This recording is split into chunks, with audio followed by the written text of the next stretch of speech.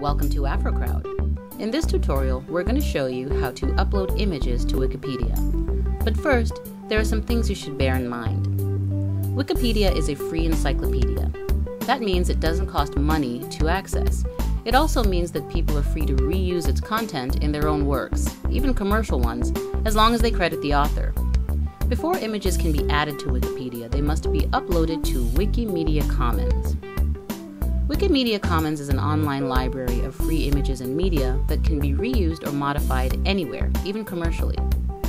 Wikimedia Commons only accepts images which have not been licensed or copyrighted and can be used by any other Wikimedia projects, including Wikipedia.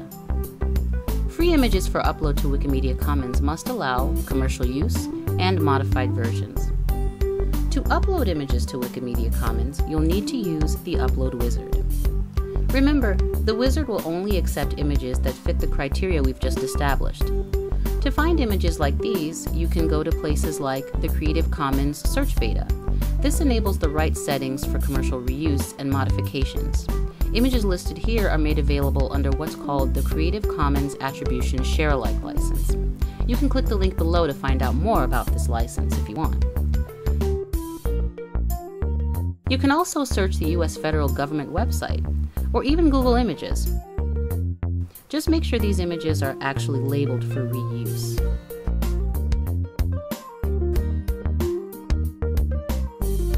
You can also upload images as long as you can prove that they're under a free license. If you're uploading an image that belongs to you, such as a photograph you took, just remember that, as we mentioned before, you'll have to agree for it to be reused commercially and modified before Wikimedia Commons will accept your upload. Once you've successfully uploaded your image to Wiki Commons, a dialog box will appear displaying two coded links. To use your image in an article, copy and insert the code provided by Commons into the Wikipedia article.